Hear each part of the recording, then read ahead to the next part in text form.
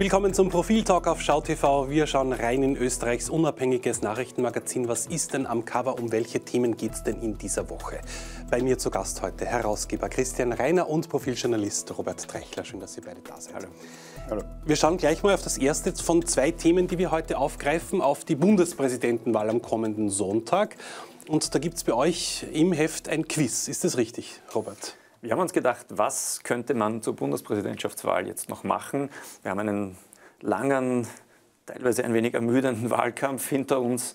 Ähm, und jetzt wollen wir mal sehen, was wissen wir eigentlich und vor allem, was wissen unsere Leserinnen und Leser über das Amt des Bundespräsidenten, über die vergangenen Bundespräsidenten, über die Kandidatinnen und Kandidaten, die im Laufe der Geschichte angetreten sind und über viele nette und zum Teil auch lustige Aspekte.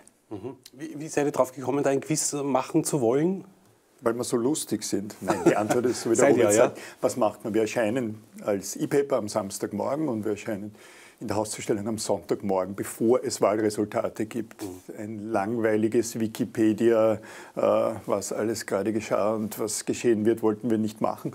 Darum haben wir eine andere magazingerechte Form gefunden. Man wird Resultate, Interviews, Analysen im Übrigen auf Profil.at, also online ab Sonntagnachmittag finden. Mhm. Jetzt würde mich natürlich interessieren, welche Fragen sind das denn und wie schwierig sind denn die Fragen? Für mich wird es ja noch die Fragen stellen. Es wird ein bisschen peinlich werden. Mit großer Freude werde ich das jetzt zur Illustration äh, euch beiden stellen. Gut, dann probieren wir es Zum Beispiel die Frage, darf der Bundespräsident in seinem Büro in der Hofburg rauchen? Also nicht die Frage, ob er es tut, das mhm. wissen wir natürlich nicht. Ähm, ich habe eine ja, Vermutung. Du, aber die Frage ist, darf er? Du redest von mal Zigaretten oder auch andere Dinge, ganz egal. Ich glaube nein. Ich glaube auch nein. Das ist ein Bundesgebäude und ich glaube, dass in Bundesgebäuden seit mehr als einem Jahrzehnt das Rauchen verboten ist. Möglicherweise darüber hinaus noch, weil es unter Denkmalschutz steht, das glaube ich aber nicht, aber weil es ein Bundesgebäude ist. Mhm. Und? Und? Das finde ich sehr schön. Ich bitte jetzt alle Zuseherinnen und Zuhörer, sehr wegzuhören, die das Quiz dann noch selber auflösen wollen. Die Antwort ist falsch, die er gegeben hat. Na, na. Okay. Er darf rauchen, weil die Präsidentschaftskanzlei hat eine eigene Hausordnung. Okay, und die Hausordnung ist das. Äh, die Hausordnung gilt für dieses Gebäude und, und, die steht overruled boah. eure sehr, sehr korrekte Vermutung, okay. aber eben letztlich doch falsch, okay. ähm, dass eigentlich Amtsgebäude. Ähm, Interessant dass man dort nicht rauchen darf und man okay. darf doch. Hat Alexander van der Bellen geraucht drinnen oder ist er runtergegangen? Beides, glaube ich. Ja, Wahrscheinlich, oder? Sicher hat er geraucht dort. Ich glaube auch. Vermutlich da müssen wir spekulieren. Stehen. In unserem Quiz gibt es nur richtige und falsche Antworten. Okay. Es gibt immer drei Möglichkeiten, mhm. drei Antwortmöglichkeiten und eine davon ist richtig.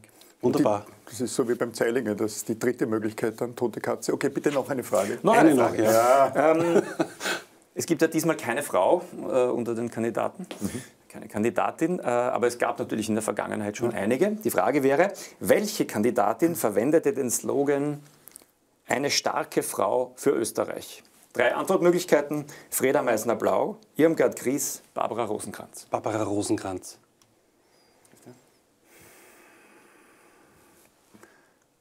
Ferrero Waldner, die war jetzt nicht drauf bei den. Die war nicht dabei, es müsste eine von den dreien sein. Meissner-Blau, Gries oder Rosenkranz? Meissner-Blau. Rosenkranz. Rosenkranz. Eine starke Frau für sagen, Österreich ja. wäre sie gewesen. Ja, kriege ich nachher ähm, Schokolade. Gerne, aber es, ist, es, sind auch sehr ernsthafte okay. Fragen. Also mhm. es ist, ist bunt gemischt. Ähm, eine Frage wäre zum Beispiel, welche Kompetenz hat der Bundespräsident nicht? Drei Antwortmöglichkeiten. Die Angelobung der Landeshauptmänner und Landeshauptfrauen, die Auflösung der Landtage und die Abberufung der Landesregierungen. Zwei oder drei? Zwei oder drei, ja. Ja, aber Auflösung der Landtage. Ja, würde ich auch sagen. Abberufung der Landesregierung. Oh. Das ist die richtige Antwort. Ei, ei, ei. Also wir müssen reinlesen. Er kann nachher ja auflösen. Wahnsinn. Ja. Ich bin Jurist, lange um, her. Aber schauen wir mal auf die Wahl jetzt wirklich am kommenden Sonntag. Ähm, viele sagen ja, es, oder auch die, die Umfragen prognostizieren einen Durchmarsch von Alexander van der Bellen. Keine Stichwahl, wenn es eine Stichwahl werden würde, dann wohl mit, mit, mit Walter Rosenkranz. Mhm. Ähm, wie schätzt du das ein, äh, Christian? Ich halte es für sehr unwahrscheinlich, dass es eine Stichwahl geben wird. Das heißt, ich denke auch, dass Alexander van der Bellen äh, unter 60, aber weit über 50 Prozent der gültig abgegebenen Stimmen bekommen wird. Äh, wie du, glaube ich, dass Walter Rosenkranz an, an zweiter Stelle liegen wird. Ich fand es übrigens ein bisschen flapsig von ihm vor einigen Tagen, als er sagte, na gut, wenn es eine Stichwahl gibt, dann, ich weiß nicht genau, was das Zitat war, dann gewinne ich halt beim zweiten Mal. Hat Rosenkranz gesagt, oder? Nein. Und das wäre überraschend, das hat Van der Bellen gesagt. Okay. Ja. Mhm. Aber es war, äh, war der Wahlkampf einer der absurdesten, die wir erlebt haben. Ich meine, teilweise unter Anführungszeichen fast Spaßkandidaten damit dabei, oder? Das Problem war natürlich, es gibt einen Amtsinhaber, der von den großen Parteien ÖVP, SPÖ, Grünen natürlich unterstützt wird. Das heißt, da ist ein wirkliches Vakuum entstanden. Es gab jetzt außer der FPÖ, die Walter Rosenkranz nominiert hat, keine Kandidaturen von, von großen Parteien. Das hat ein, eine Lücke geschaffen und in diese Lücke sind verschiedene Kandidaten hineingestoßen. Die dürfen das natürlich, so, das ist auch ein, ein, eine gute Sache in der Demokratie, aber dadurch haben wir natürlich Kandidaten bekommen, die Kraft ihrer eigenen Initiative äh, Kandidaten wurden oder von Kleinstparteien oder Kleinparteien und nicht die üblichen sorgsam ausgewählten aus den, aus den großen Parteien.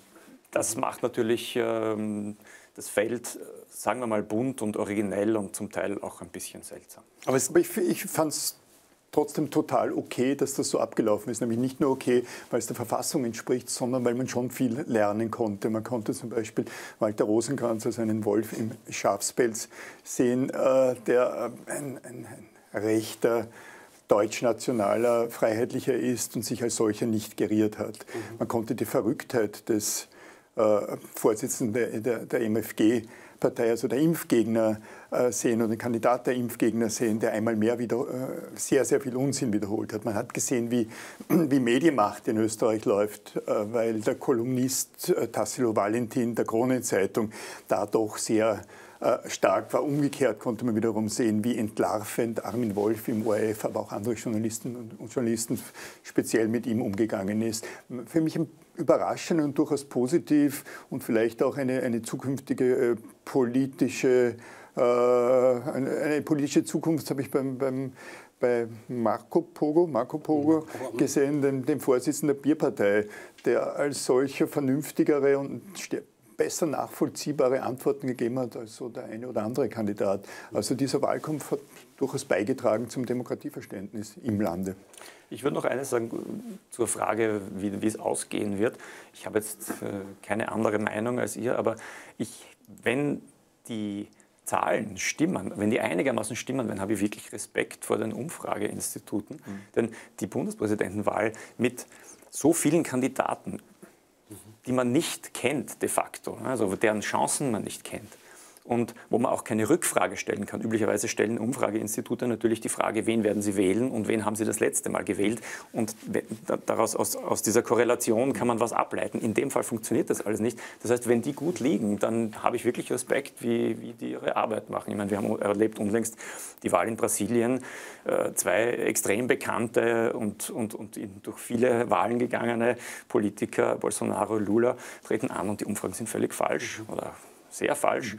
Ähm, jetzt äh, ist eine schwierige Wahl für, für Umfrageinstitute. Reinschauen ins Profil, da gibt es das Quiz und dann auf Profil.at natürlich auch die Wahlanalysen und die Zahlen. Die aktuellen kommen wir zu unserem zweiten Thema von heute, nämlich zu etwas Erfreulichem. Wir sind Nobelpreis, kann man sagen, oder? Anton Zeilinger ist Nobelpreis. Wir sind Nobelpreis, aber uns für Österreich zu arrogieren, diesen Nobelpreis von Anton Zeilinger, wäre sehr österreichisch.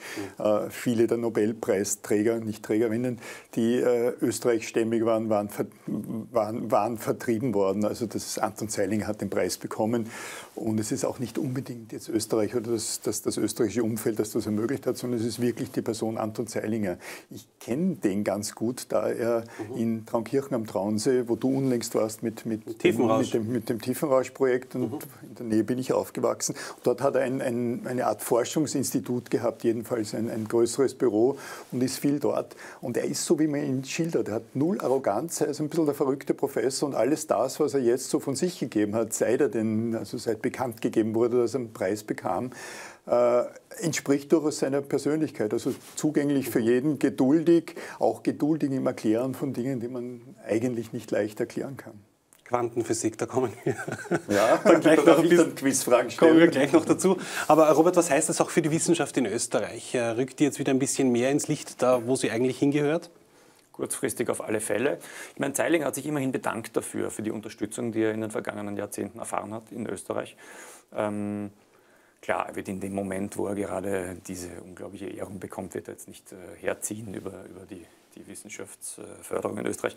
Aber ähm, er hat auch gesagt in einem Interview, dass er eigentlich denkt, dass junge Wissenschaftlerinnen und Wissenschaftler, die heute ein, ein Projekt einreichen, das gut begründet und interessant ist, ähm, dass die auch Förderungen bekommen würden. Mhm.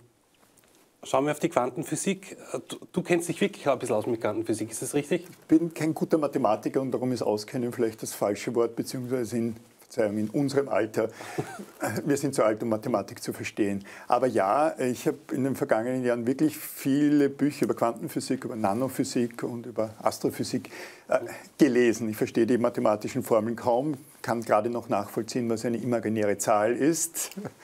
Aber, ja. aber es ist es ist schwer zu erklären, aber irgendwie ist Astro- und Nanophysik für einen Agnostiker oder Artisten für mich so ein bisschen ein Fenster zu dem Unsagbaren, weil ich jetzt sagen würde, an unsere Grenzen hat das Wort Grenze keine Bedeutung, aber es, es erweitert den Horizont in vielfacher Weise.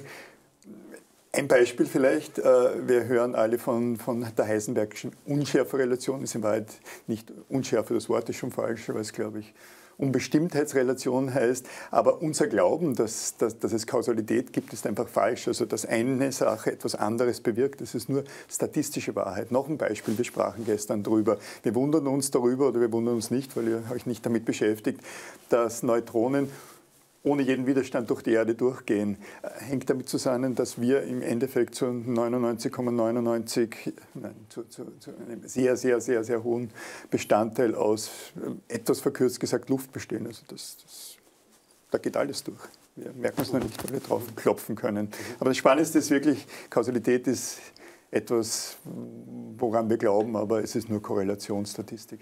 Eine der Fragen natürlich auch jetzt, ob, ob, vor allem jetzt junge Menschen auch für die Wissenschaft und für die Physik auch begeistert werden durch diesen Nobelpreis von Anton Zeilinger.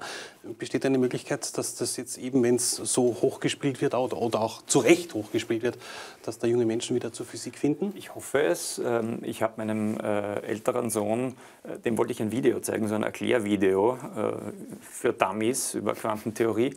Und er hat das sofort weggewischt und hat gesagt, genau das äh, erzählen Sie uns gerade in der Schule. Mhm. Was mich sehr gefreut hat. Also offenbar mhm. reagieren die recht, recht rasch, wenn sie es nicht sowieso schon vorgehabt haben mhm. und, und machen das. Es gibt eine lustige Geschichte mit dem Zeilinger. Der war einmal ein Teil der Ausstellung der Documenta in Kassel, dieser Ausstellung für, für eigentlich moderne, extrem äh, progressive Kunst. Und in einem Raum äh, war der Zeilinger mit seinen äh, Assistenten und wir haben dort ein Experiment gemacht. Und ein Mann ist zu ihm, gegangen und hat dann gesagt, ich bin jetzt den dritten Tag da und ich habe es immer noch nicht verstanden. Mhm. So ein bisschen vorwurfsvoll.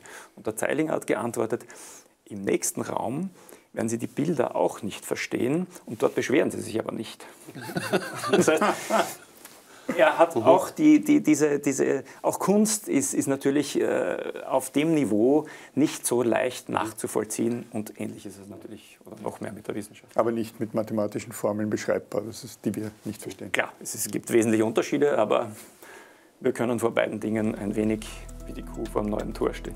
Dann äh, Dankeschön euch beiden. Äh, schauen Sie rein ins neue Profil, alles über Anton Zeilinger und das Bundespräsidentschaftsquiz. Das sehen Sie da drin. Schauen Sie rein, wie auch bei uns. Bis zum nächsten Mal. Danke fürs Zusehen.